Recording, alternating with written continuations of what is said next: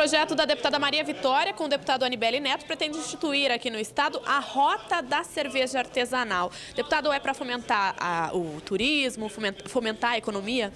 Veja, eu te, sempre que posso, falo que um parlamentar, um deputado, ele tem que ter bandeiras.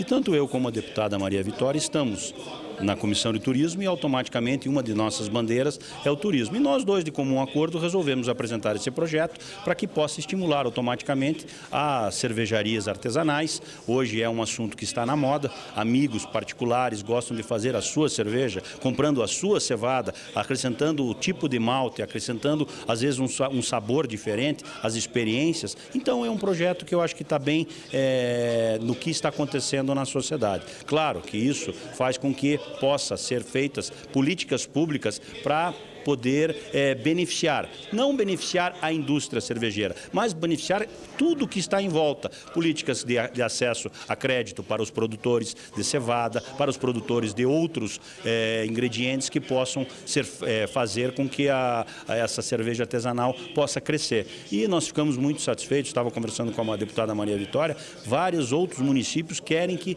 sejam incluídos nessa rota. Então, provavelmente nós iremos fazer uma emenda para que possamos acrescentar para que vários municípios sejam prestigiados e mais à frente possam ter passeios para degustar essas cervejas. Né? Então eu acho que é um projeto bem bacana e a gente está muito feliz de ter apresentado.